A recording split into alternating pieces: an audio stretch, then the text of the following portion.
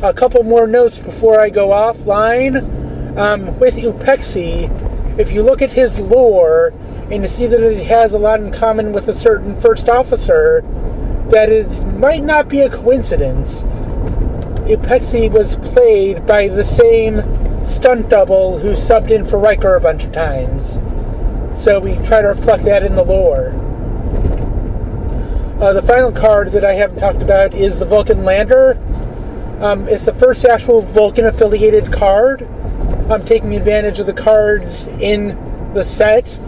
Uh, that we now do have the Vulcan affiliation icon not available in the time First Contact came out. Although, ironically, First Contact was the first set that introduced a new affiliation beyond the big three that we got in second edition and first edition premiere, rather. Um, I will note that it is a persona of the current non-aligned Vulcan lander, so feel free to swap them as you want. It's also the first Vulcan affiliated card that doesn't have an icon.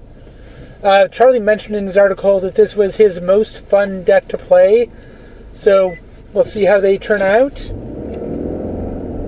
Um, so that's about all I have for the day.